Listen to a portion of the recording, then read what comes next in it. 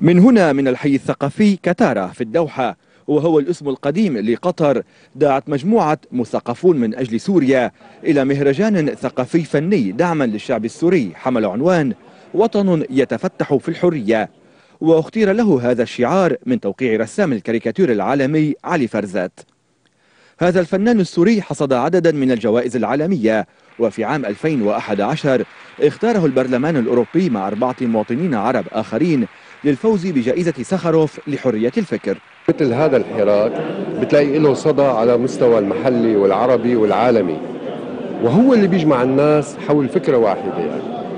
فكرة فكرة الفن فكرة الفكر فكرة الثقافة فكرة يعني هذا يعني هو عبارة عن مشهد حضاري حقيقي يعني.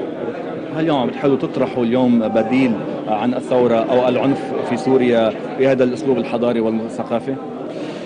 أو أنه بيتكاملوا مع بعض؟ هو العنف مو موجود في الشارع يعني العنف موجود في الطرف الآخر.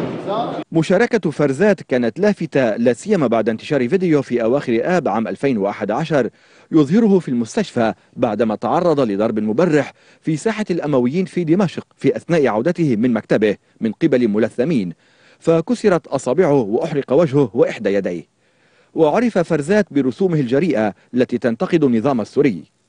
فرزات رأى أن هدف التظاهرة الثقافية هو إضفاء صورة حضارية على الحراك الشعبي على اعتبار أن هذا النوع من الأعمال يترك أثرا أكبر وأشمل مما يقوم به العمل السياسي. اليوم في خطين متوازيين الخط السياسي والدبلوماسي الخارجي ومضمون وروح الثورة اللي هي ما لها علاقة بكل ما يشاع عنها.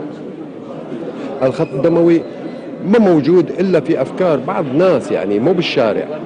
في الخط السياسي في ما يرسم لهذا الخط من أعمال آه، ربما تكون مصدرها آه، سياسي عالمي من مافيات. أحيانا في إشاعات تشيع هي المسائل.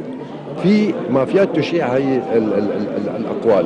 أما على مستوى الشارع لا يوجد أي عنف ولا يوجد أي شكل آه، من أشكال حتى بيقولوا لك نحن سلمية لحد الآن بيقول لك نحن سلمية سلمية إلا ما خرج بالأخير من أشكال آه، مؤسساتية ضمن آه، الجيش نفسه. صار في قسم للنظام وقسم بيقولوا الجيش الحر.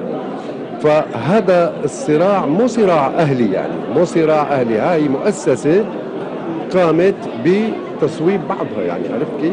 هذا الجيش الحر قام بتصويب ما يقوم به جيش النظام. وكان فرزات قد أصدر عام 2000 صحيفة خاصة ساخرة هي دومري إلا أنه نتيجة بعض المشكلات مع السلطات جرى سحب الترخيص منه عام 2003 وأسس بدلا منها صالة للفن الساخر اتخذت من مقر جريدة الدومري موقعا لها لتكون استمرارا لفكرها معتمدا على النجاح الذي حصدته الجريدة لدى الجمهور. من الدوحة باسل العريضي